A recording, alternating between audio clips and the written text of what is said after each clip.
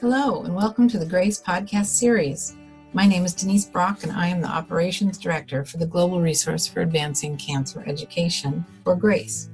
In this podcast series, we interview patients, advocates, and healthcare professionals to provide the most updated information for our community and to highlight important issues facing those dealing with a cancer diagnosis. We hope you find this information valuable. For questions or comments, please visit us at cancergrace.org. So, what about other treatment around surgery? So, the chemotherapy can be given prior to surgery or after. It's usually it usually is given either um, in one of those instances, but not both. And then recently, we've been thinking about well, what about immunotherapy? So, I think you've probably heard about chemotherapy and immunotherapy, but I'll, I'll tell you just um, a, a general summary in case you haven't. So, chemotherapy, I think of as um, a chemical that directly kills a tumor. Immunotherapy has a different approach. It actually stimulates your immune system to fight the cancer on its own. So it doesn't do any direct killing. So different mechanisms here and, and different toxicities also. So this, um, there is a trial recently looking at um, chemotherapy and immunotherapy prior to surgery, and then following that with just immunotherapy. It's still in the very early phases, but they did report out some um, data recently. So there were 28 patients that were eligible um, starting back in, in 2017. 25 of them received the treatment before surgery. 18 went on to surgery, and 15 at that time point had made it on to the post surgery treatment. So, one of the things we think about when we're considering a treatment before surgery is whether it's going to prevent someone from getting to surgery. And if you compare the, those numbers with people that got get chemotherapy prior to surgery, they're pretty similar in terms of completion rates of, of surgery. So there are no early safety signals to suggest this is preventing surgeries. Um, and the type of surgery used in this trial is really uh, more consistent with what we use uh, recently, which is the pleurectomy and decortication. So, just thinking back to 2019, this is a really wonderful slide by Dr. Nowak. Um, showing that if a patient was not a surgical candidate, so we're moving now from the surgery realm into we can't do surgery, we really had um, one option as the first treatment, which was chemotherapy or to support the patient and manage their symptoms without any anti-cancer treatment. So that was a, that was pretty straightforward. Um, and then we had um, a, a, very important trial that looked at combination immunotherapy, so two immunotherapy agents, ipilimumab and nivolumab, versus um, the standard chemotherapy at that time. And so this is again in patients that have are not eligible for surgery. And really, in summary, I just wanted to point out a few things. Overall, they found that the combination immunotherapy was better than chemotherapy when just looking at the whole population. When they started to look a little bit closer at some of the groups, the difference was particularly stark in the sarcomatoid and the biphasic group. So those two types of mesothelioma that are not epithelioid.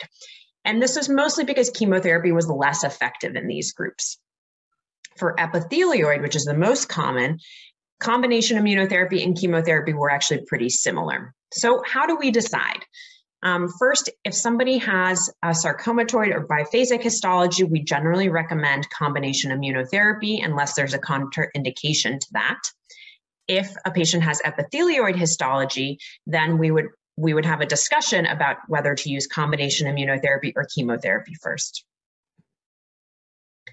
The side effects of immunotherapy are an important thing to highlight. Um, so, because this activates the immune system, it can really cause inflammation in any organ. And this figure shows basically all of the different areas that you can see toxicity. The most common is itching, so that's inflammation of the skin, diarrhea, which would be inflammation of the gut, and fatigue, which could be inflammation of the thyroid or just generally a side effect of treatment. So, what happens when you experience a side effect?